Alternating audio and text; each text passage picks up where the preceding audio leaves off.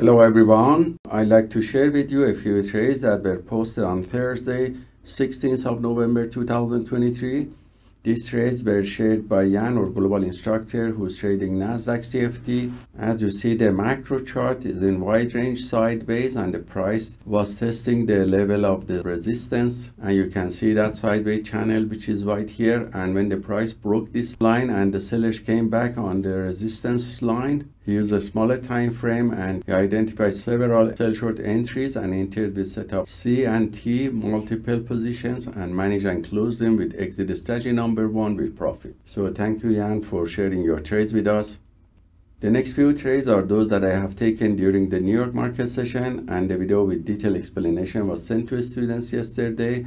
So I'm gonna replay the video here for you. Hello everyone. I'd like to share with you the trades that I have taken today on Thursday, 16th of November 2023. These trades were taken on Nasdaq, Dow Jones, and S&P 500 futures. If we look at the one-hour macro chart, we see that the price was fluctuating between the previous day low and close on all E-minis. And during the London session pre-market, the price started to go up and after New York market opening you can see in 10 minute macro chart the price started to go down and retested the previous day low and point of control on all E-minis and around 940 the buyers came back and this uptrend wave was taken on Nasdaq repeatedly with setup T and also on Dow Jones with setup T. And around 1020 again the buyers came back again and tested on S&P 500 this point of control.